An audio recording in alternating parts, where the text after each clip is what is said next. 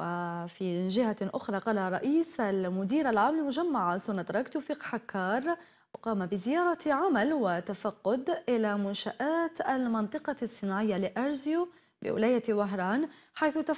تفقد حكار والوفد المرافق له بعض الهياكل الصناعية للمديرية الجهوية لأرزيو كقاعة المراقبة الحديثة الإنجاز والمجهزة بأحدث التكنولوجيات الرقمية ومحطة التكرير لأرزيو ومركز توزيع الغاز الطبيعي لنشاط النقل عبر الأنابيب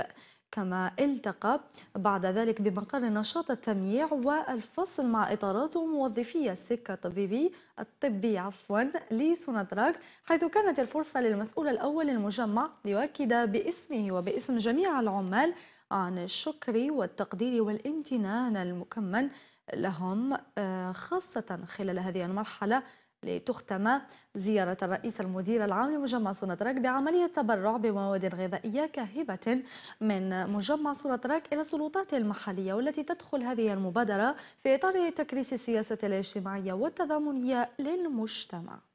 أو للمجمع